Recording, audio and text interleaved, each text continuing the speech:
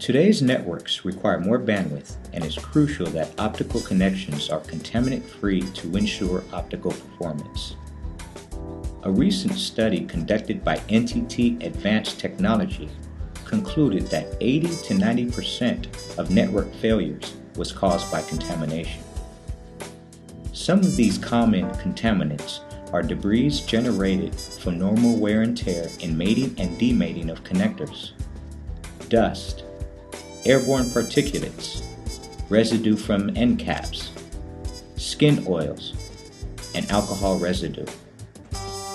Dust, dirt, and airborne particulates are the main contributors to network failures. These contaminants can block the optical paths that transmit data, causing signal degradation and ultimately failures. Fortunately, there are very simple ways to address these potential issues. We recommend cleaning the connector interface or port whenever a new connection has to be made. Wave to Wave offers a full line of fiber optic cleaning products that can clean 1.25 millimeter ferrules, 2.5 millimeter ferrules, and MPO and MTP connections.